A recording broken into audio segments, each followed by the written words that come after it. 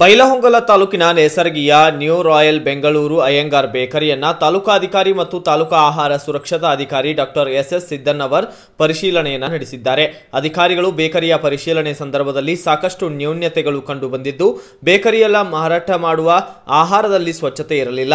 ತಿಂಡಿ ತಿನಿಸುಗಳ ಪೊಟ್ಟಣದ ಮೇಲೆ ಆಹಾರ ತಯಾರಿಕೆ ದಿನಾಂಕ ಮತ್ತು ಕೊನೆಗೊಳ್ಳುವ ದಿನ ಮಾಹಿತಿ ಇರಲಿಲ್ಲ.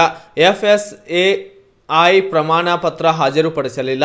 ಆಹಾರ ತಯಾರಿಕೆಯ ಕೊಠಡಿಯಲ್ಲಿ ಸುಣ್ಣ ಬಣ್ಣ ಹಚ್ಚಿರಲಿಲ್ಲ. ಕೆಲಸಗಾರರು ತಲೆಗೆ ಕ್ಯಾಪ್ ಹಾಕಿರಲಿಲ್ಲ. ಹೀಗೆ ಅನೇಕ ವ್ಯವಹಾರಗಳ ಬಗ್ಗೆ ಈ ಸಂದರ್ಭದಲ್ಲಿ ಆಕ್ಷೇಪವನ್ನು ವ್ಯಕ್ತಪಡಿಸಿದ ಅಧಿಕಾರಿಗಳು ಸದ್ಯ ಬೇಕರಿ ಮಾಲೀಕರಿಗೆ ಕಾರಣ ಕೇಳಿ ನೋಟಿಸ್ ಅನ್ನ ನೀಡಿದ್ದಾರೆ.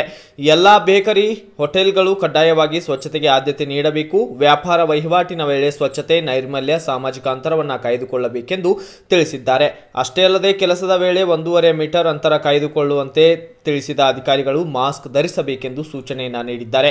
ಕುಡಿಯಲು ಬಿಸಿ ನೀರಿನ ವ್ಯವಸ್ಥೆ ಮಾಡಬೇಕು. ಶೌಚಾಲಯಗಳಲ್ಲಿ ಸ್ಯಾನಿಟೈಸರ್ ಸೋಪ್ ವ್ಯವಸ್ಥೆ ಮಾಡಬೇಕೆಂದು ತಾಲೂಕಾಧಿಕಾರಿ ಡಾಕ್ಟರ್ ಎಸ್ ಎಸ್ ಸಿದ್ದನ್ನವರ್ ತಿಳಿಸಿದ್ದಾರೆ.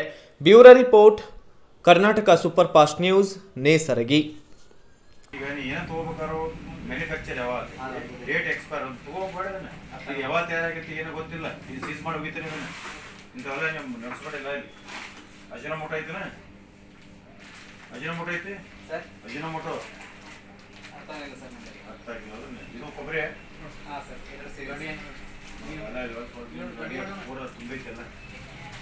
ನೀ ಏನ್ ಕೆಲಸ ಮಾಡ್ತೀನಿ ಸರ್ ನೀ ಏನ್ ಕೆಲಸ ಮಾಡ್ತೀನಿ ಸರ್ ಮಾಮೂಲಿ ಮೇನ್ ಕೆಲಸ ಸರ್ ನಮ್ದು ಹಾ ಅವ್ರಿಂದ ನೀವು? ಮೀ ಸರ್ ಇಲ್ಲೇ ಬಂದಿಪ್ಪ ಮೈಸೂರು ಬೆಟ್ಟ ಅಂದರೆ ನಮ್ಮ ಓನರ್ ಇವರು ಒಂದು ಏಳು ವರ್ಷದಿಂದ ಇವ್ರ ಹತ್ರನೇ ಕೆಲಸ ಮಾಡೋದು ಸರ್ ಇವೆಲ್ಲ ನೋಡಿದ್ರೆ ನೀವು ಮೂರು ತೊಗೊಂಬಂದಿಲ್ಲ ಇದು ಡೇಟ್ ಮ್ಯಾನುಫ್ಯಾಕ್ಚರ್ ಇಲ್ಲ ಎಕ್ಸ್ಪೈರ್ ಇಲ್ಲ ಇವೆಲ್ಲ ಬಾದಾಗಿದ್ದು ಹೆಂಗೆ